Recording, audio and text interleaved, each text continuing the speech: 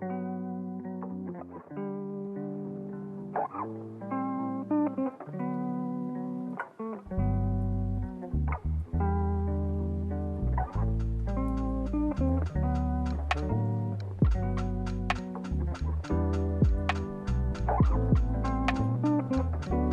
Hey everyone, what's going on? Welcome back to a new YouTube video. Today I wanted to take you guys back on a beautiful road trip that I just did actually uh, to see some beautiful fall colors here in California. I make this trip up to the Eastern Sierra pretty often here in California, especially during the fall.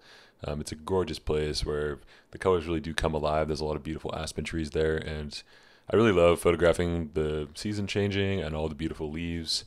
And for me, this is probably the best place that I know of to really see beautiful fall colors. So me, my girlfriend, and a few friends went up earlier last week, and I brought along two cameras with me, the X-T5 and the GFX 100S.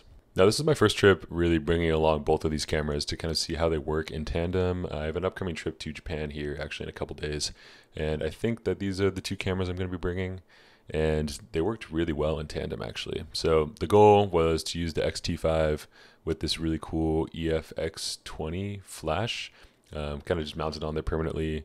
Uh, more as kind of like a digital point and shoot almost. I want to make a full video about this here in the future, uh, but long story short, this flash is incredible and it really does a great job at allowing me to shoot kind of a little bit more candidly, especially when the light and kind of the sun goes away. Using that flash works really, really well. And obviously, we were going to be taking some pretty beautiful landscape photos, so I did want to bring along my GFX 100S, which is definitely my go-to favorite camera right now, and it really delivered, especially in Yosemite. I hadn't actually been to Yosemite in almost five years, which is crazy because I feel like I am around California pretty often, and I road trip up and down the state fairly frequently. Uh, but I hadn't been to Yosemite in a long time, so this was such a treat to be able to go and capture this on that beautiful medium format sensor. So the first area that we hit on this road trip was an area called June Lake, which is one of my favorites. Now this is really close to the town of Mammoth, which most people are pretty familiar with, uh, but there's some beautiful hiking trails around here, and there's also several lakes that have different viewpoints and different fall colors happening, different kinds of mountains, uh, lake reflections, all that kind of stuff. So we camped in this area for actually two nights, which was super beautiful. And we were able to hike around, swim. Actually, it was pretty warm, and we got some really cool photos just walking around and seeing all the beautiful fall colors.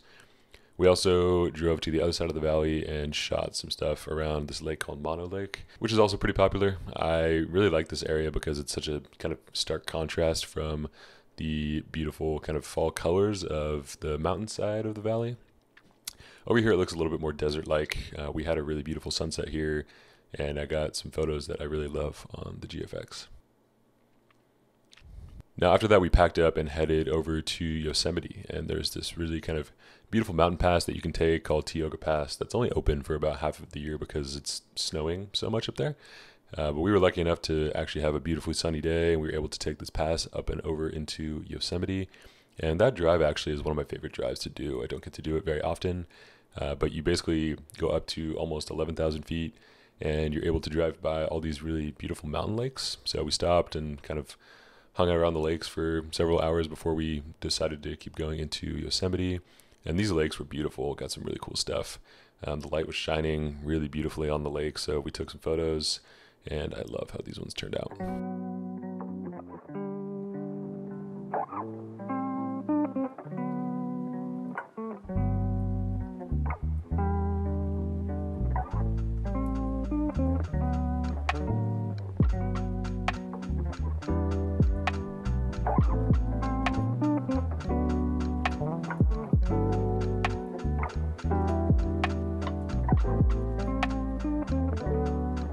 Now, after that drive, we actually posted up in Yosemite for three days, which was super pretty. We only went to the park one of those days, but that was such a beautiful afternoon.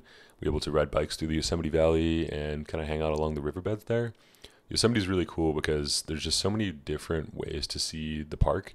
And I personally love the valley. I think the valley floor is really beautiful and very underrated. Walking around there is super gorgeous, and you can really kind of get a great sense for all the different kinds of fall colors there. I wouldn't say that the colors in Yosemite in particular were better than Mammoth, uh, but again, I hadn't been to Yosemite in a long time, so this was really fun for me to take photos of the valley and the light shining through the trees and all the different stuff happening.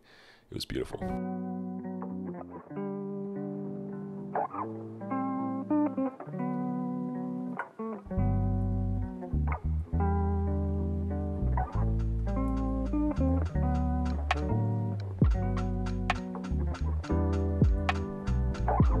I would say the highlight of the trip for me was the sunset that we did at this really cool location called Taft Point in Yosemite. Really beautiful view. It's a very quick hike from a parking lot, and you get a pretty insane view of the valley floor. So we actually went out there for sunset, which was beautiful, and I was able to capture these really cool kind of light streaks in the valley. And these are some of my favorite photos from the whole trip. The light was just hitting that day and it was so pretty. It was this kind of smoky, hazy light and the sun was shining through. It was just kind of burnt orange color. It was so gorgeous. And the photos that I actually took that night on the GFX, I think were some of my favorite landscape photos I've taken in a while. These were beautiful and I kind of tried to use the natural silhouettes and shadows in the valley to really kind of emphasize the beautiful light streaking through.